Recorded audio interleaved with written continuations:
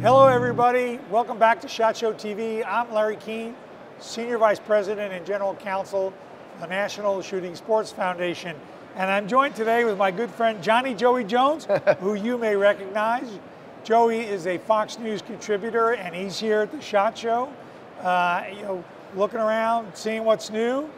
How you, you having a good time so far? Absolutely fantastic time. I'll tell you, um, my career at Fox has grown a little bit since the last time I was at SHOT Show, and it's still very humbling just to walk up and down these carpets I've walked up and down for a decade now, and have somebody stop and say, "Hey, can I get a picture with you?" And so it just really reminds me of the community that I feel like I get to represent when I go on television and talk about politics whatever's going on in the world. And I'll tell you what, it just really means a lot to me to be here this week and to say hello to these folks and listen to the growth their companies had. Or, or you know, I spoke to a gentleman that owns um, a gun store in Beverly Hills, California, and I interviewed him on TV the other day. I got to meet him today and just talk about how new people are coming in to exercising their Second Amendment, and this is the place that for a lot of people that gets started. Oh yeah, I mean the growth the last two years of people purchasing firearms off the charts, the two best years for the industry in terms of sales.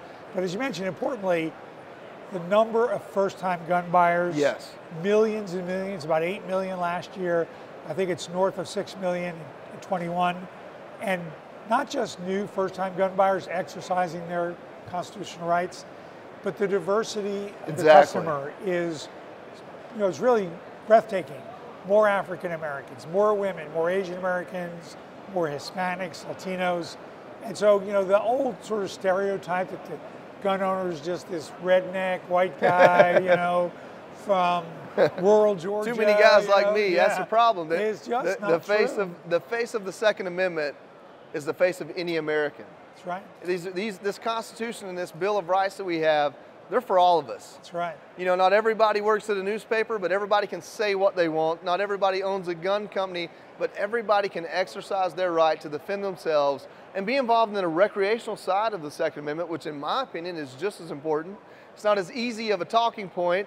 Uh, you know, self-defense is a big deal, and, and it should be.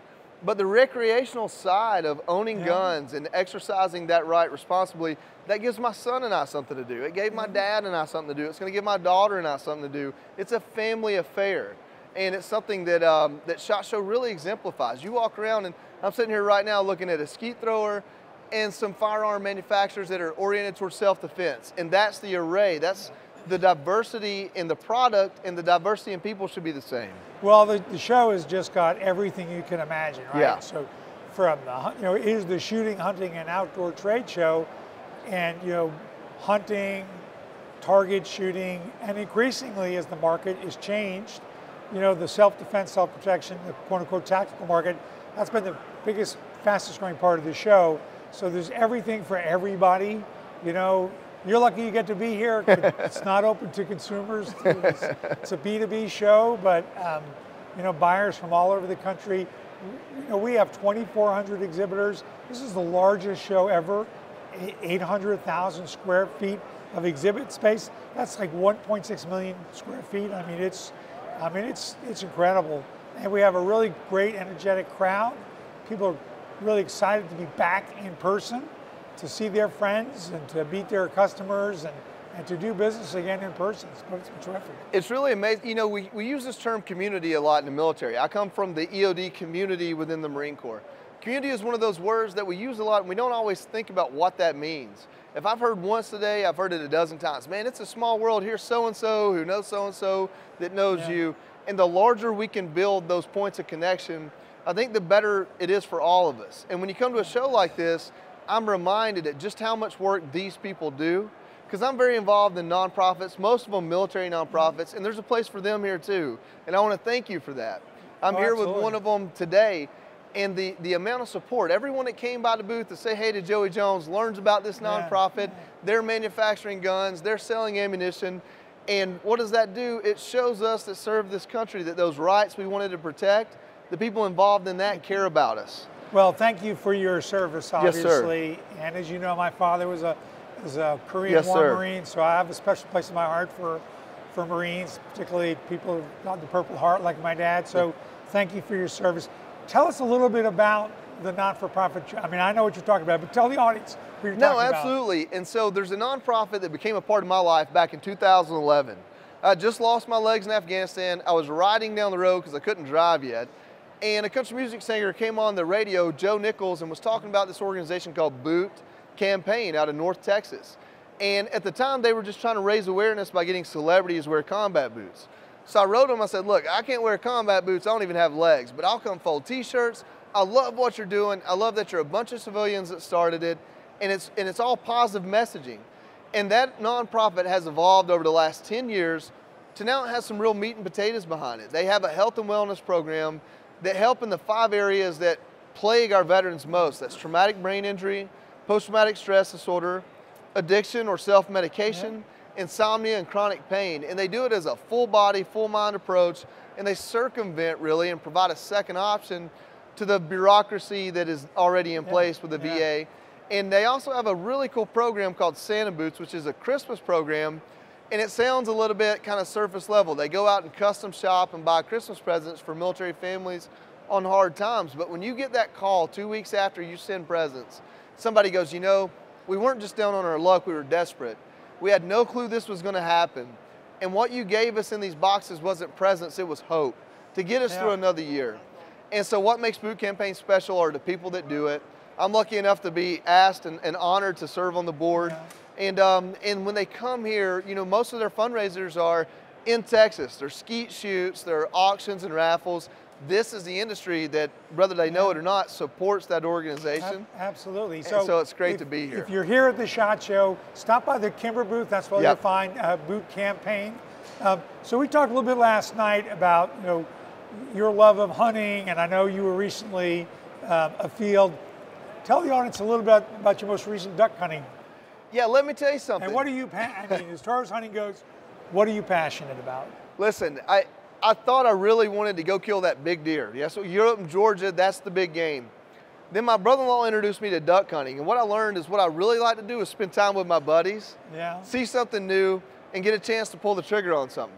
And waterfowl hunting has really become my passion. I've been able to go do a Maine moose hunt and some really majestic, amazing, life-changing things. But if I can get in a duck blind and hopefully shoot at a duck, I'm a happy day. And duck hunting, for those that do it, it's not as easy as it used to be. Yeah. And I started going to Arkansas with my closest friends. My very best friend, Danny Ridgway's just one of those North Alabama guys that he sounds like a banjo when he talks, but he's very intelligent. and we just did two weeks. We went from Arkansas, one part of Arkansas to another. We ended up in the Chesapeake Bay and then over on the eastern yeah, shore of Maryland right. at Patriot Point. And I'll tell you, it's just the camaraderie that we get to share once a year together keeps me going all year long. Yeah. And hunting, when it can be a social event, is at its best.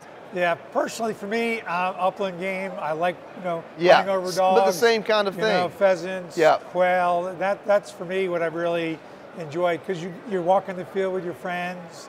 You're, you're watching the dogs work, which is amazing. Amazing. You know, so so for me that's that's what I like to do. But um, so you also talked a little bit. Uh, we spoke last night about taking your son out and introducing your son to shooting sports. Tell us a little bit about that. Listen, I, I did not use a shotgun in the Marine Corps, and my dad didn't grow up shooting skeet or doing any kind of bird hunting, so I learned to use a shotgun after I lost my legs. Unfortunately, that only gets to be your, um, your excuse for not being a good shot up until you meet another guy with no legs that's a good shot, and then you lose your excuse and you're like, well, I better go figure it out. And so I've been really fortunate to learn to use a shotgun, duck hunting and skeet shooting, and my son's a, a brilliant little 12 year old. He, he plays two different kinds of saxophone. I can't even do a duck call, and he's over here playing the saxophone. So he outdoes me in everything anyway. So two years ago, I bought him a 410 uh, Beretta, the break action. Yeah. I bought myself a 12 gauge. Here we are two years later. With that 410, he just outshoots me every time. Well, don't so, take him in a duck blind because I'm telling you, better than you. I'm that's exactly right. I'm like, son, you got the saxophone, but I really need you to figure out a duck call because I need you to come with me. But that's what makes hunting so fun. I mean, it's something that my son and I, I played football, he plays baseball. I can't carry a tune in a bucket, he plays the saxophone. He looks a lot like me, but his personality is different. And shooting skeet and eventually duck hunting is what yeah. we're going to share together. That's fantastic. Well, yeah. that's the tradition, the heritage, passing exactly. from father to son is just so important. And it's so important to the people in the industry. Yes. Really, we, you know, we work so hard to protect that heritage and that tradition. You know, you know, so that's so important. And I want to thank you for the fantastic job you do on Fox News. You know, speaking out, uh, you know, and standing tall for the Second Amendment. You know, and protecting our rights. You know, so often we just don't see that on television. You know, the, we hear people saying we're the enemy, the industry's the enemy. So thank you so much for standing up for the Second Amendment, and you know, and thank you again for your, you know, your service and your sacrifice. You make, you know, it's people like you that, you know, help protect and make it possible for us to enjoy the Second Amendment. I'm honored to have the platform I have. I don't, I don't know why Fox decided that scraping the bottom of the barrel with this Georgia boy that was a Marine is what they wanted to do, but I have that platform. It's my responsibility to use that platform for the things I believe in and care about, things I'm passionate about. And Second Amendment's at the top of that list. So thank you for letting me be a part of what you've had going on this week. And um, you know, I'll be here for another day or two and hopefully meet some great people. Thank you for joining us, Joey. It's great to see you again. Thank you, brother. Appreciate it. Yes, sir. We're out of time, everybody. Thanks for joining us, and we'll see you on the show floor.